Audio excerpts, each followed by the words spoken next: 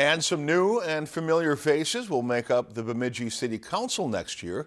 Uh, Josh Peterson caught up with some of them to get their outlook on the coming year. 2019 will be the year for many changes in the city of Bemidji, and one of those big changes will be the makeup of the city council.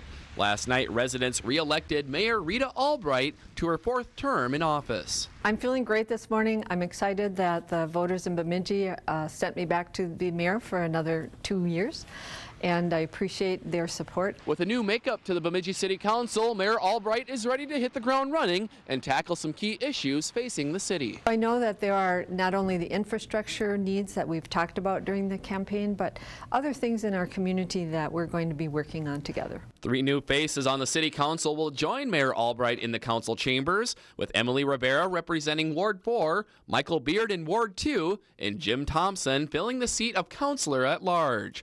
After a long season of campaigning, they are ready to get to work. I really want to be looking forward several generations way down the road and how is Bemidji going to continue to grow? I, I think the one thing the city has to focus on is the infrastructure with the growth.